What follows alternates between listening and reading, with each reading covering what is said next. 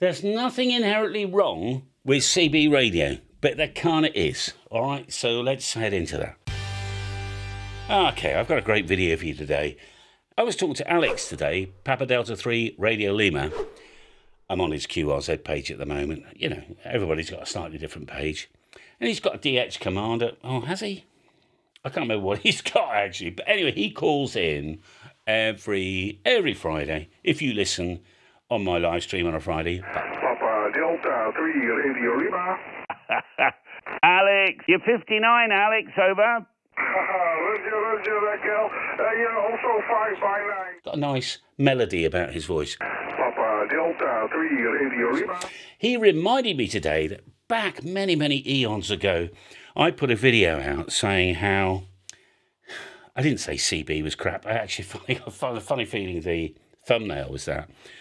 But basically, I wanted it to untangle the problem with CB radio. So let's just let's just pretend you love food and you go to a restaurant and I tell you that you'll only every, every time you go out, in fact, every time you eat, you're only allowed dishes with cheese. That's it, or dishes with eggs. You're only allowed chicken. All right. And that's CB radio, you see, because CB radio, the 11 meter band, are on and around 27 megahertz. You're stuck with it. That's all you can do. So, for instance, if the skip's in, you're having a good time and you're you're DXing and you're talking to people, perhaps you've spoken to them before in the past and everything else, then it, it closes, particularly at night. And then you're left with the four people you normally speak to within 10 miles of your location. Because you've got like an IMAX 2000 or whatever it is on the roof. And you, you know, you can clear the rooftops and you can have a little chat with the locals. Right? And that's it. That is it. Where with me, when the band closes on 10 metres, or when the band closes on 12 metres, or when the band closes on 15 metres, I've got a load of other bands I can go. For a start off, if I want to talk to somebody local, I wouldn't use 10 metres. Uh, that is about, even if an antenna 10 metres off the ground, that's only one wavelength off the ground. So the two metre band is absolutely fantastic for local work. I'm five wavelengths off the ground at 10 metres with a with two five eighths phased, like a V2000 or whatever. I can do 50 miles in the main, just line of sight, 50 miles on the two metre band. Or I can drop down to 40 and I can cover, you know, I can chat to Fritz in Dusseldorf. I can speak to um, to Alex PD3RL in, in the Netherlands. I can go to 80 metres.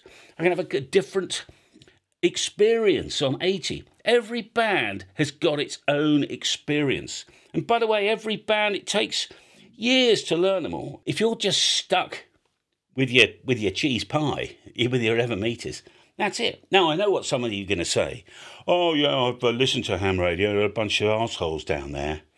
Um, the, the day you, you listened, there might have been a bunch of assholes. By the way, there was a couple of assholes in, in Costas the other day.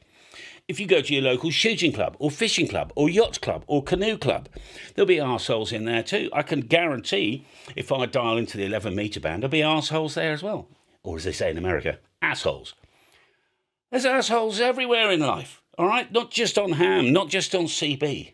And the other thing is, if you can put my glasses on now, if you can understand this video, calculating power for ham radio, this one here, all right?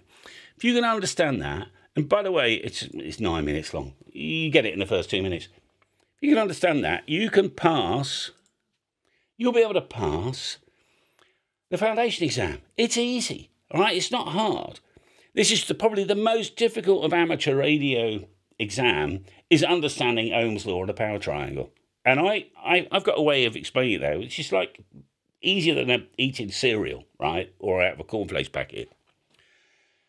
There is no excuse why you can't broaden your horizons. Stick on CB as well.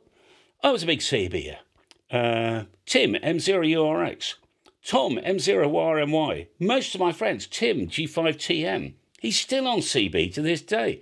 You can still do that but broaden your horizons. And by the way, I did a 10 watt uh, night a couple of years ago on 80 meters. I was getting all around Europe on 10 watts. So just because you think, oh, 10 watts, I couldn't, I've got a 100 watt radio here, I couldn't go down to 10 watts on ham radio.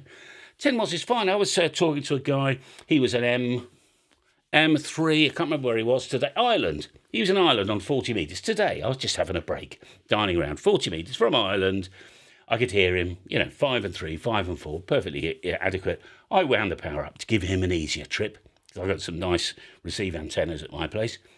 But, you know, it was a walk in the park for him. And, and he was on 10 watts. He genuinely was 10 watts. You, you could kind of tell. He was a wee bit quiet, not quite as powerful as 100 watts. But the difference between 10 watts and 100 watts, and as you'll learn if you did the exam, um, is only 10 dB. All right. Have you got a 10 dB on your attenuator?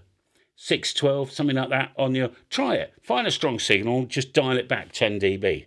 Oh, oh hell, I can still hear them. Yeah, I know. Funny, isn't it? So, and that's what happens if trying to go from 100 to 1,000. You don't really get very far, right? Unless it's marginal. You're a CW guy or an FT8 guy or something like that. But on voice, if the guy is 5 and 7, 5 and 8, 5 and 9, if you reduce your power by 10 from 100 to 10 watts, nothing, nothing much is going to happen, all right? Because a lot of CB goes will go, well, we've got 12 watts. And by the way, you haven't got 12 watts. Most of you guys on CB, I know, I've got a 100 watt radio, if not more, all right? So don't give me that baloney, all right? Come down to 10 watts, come down to 40 metres, get your foundation licence. And by the way, within two months, you go, oh, it's a walk in the park. I'll do my intermediate now if you're in the UK. All right. If you're in uh, Australia or uh, America, you can do your general quite easily. And do your extra. You just need to learn all the questions. All right. Basically, what we're trying to do is in this hobby is um, basically if you're polite on CB, well, be polite on ham radio, right? I think you'll find the people that are polite in the main, in life, the universe, and everything, are just polite people anyway. All right? Assholes, assholes, call them what you will. There's assholes on CB, there's assholes on ham radio, there's assholes on PMR, GMRS, at your local club, the next restaurant you go to. Assholes, the world is full of them. All right? Ignore them, just be polite and have a good time. And I think you'll find you'll easily make the transition.